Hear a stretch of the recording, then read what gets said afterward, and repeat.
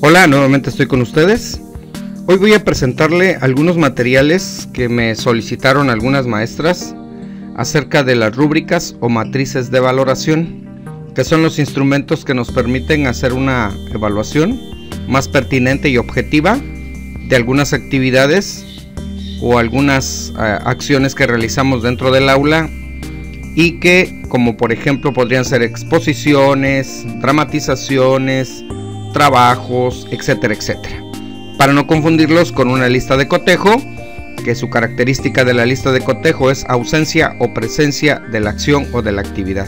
Entonces les voy a mostrar algunas rúbricas que su servidor elaboró de la mayoría de las asignaturas o de algunas actividades muy específicas. Entonces ustedes van a entrar a mi página web, a la pestaña primaria, y ahí van a encontrar las rúbricas de distintas asignaturas. En el cajón de la descripción les voy a dejar el link para que puedan accesar a mi página web y la puedan descargar. Al darle clic en descargar, les va a generar un archivo WinRAR, como este que está acá.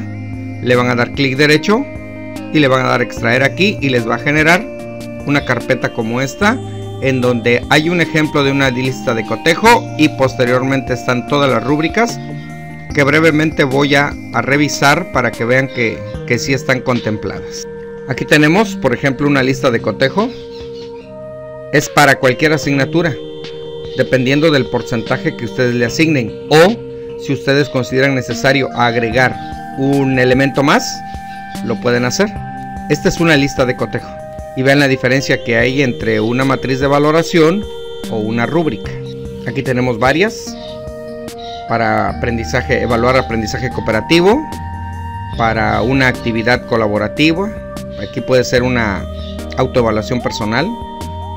Es una matriz de valoración para que las coordinadoras académicas, las directoras de la escuela, los directores, los asesores técnicos pedagógicos, los jefes de sector, etcétera, etcétera, puedan hacer una evaluación sobre la planeación didáctica.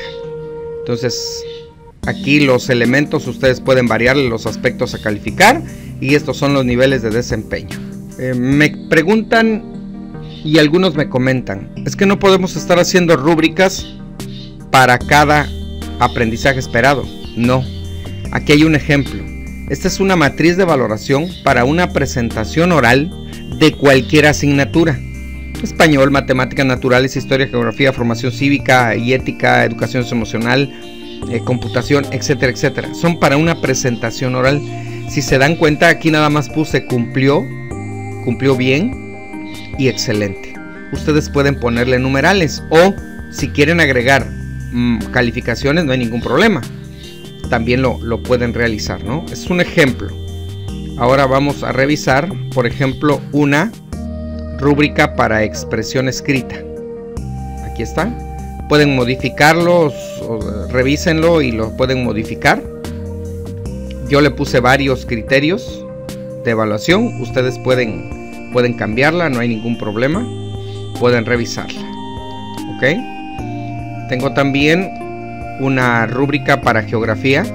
No es para un tema de geografía, porque el maestro por eso se complica la existencia quiere elaborar una rúbrica exclusivamente para trabajar regiones naturales.